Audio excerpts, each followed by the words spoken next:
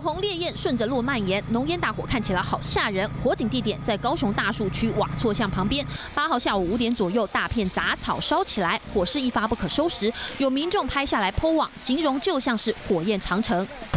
消防局调派无人机监控拍下画面，现场地形加上风势，增加救援难度。火势近六小时才扑灭，罕见大火让周边居民彻夜难眠。最担心的主因是这个，我因为有十八条的管路嘛。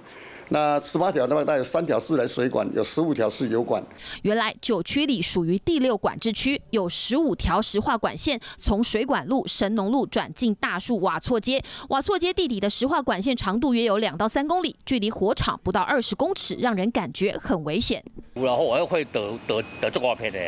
大家民家大概嘛就必须要协助民众来做疏散撤离的动作。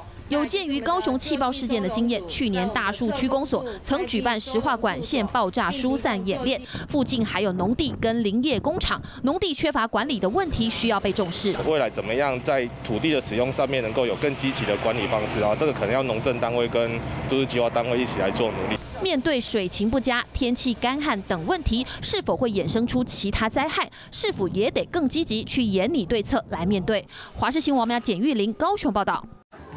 华视新闻看起来，赶快订阅我们的华视新闻 YouTube 频道，欢迎按赞、订阅、开启小铃铛，最新最及时的资讯要提供给你。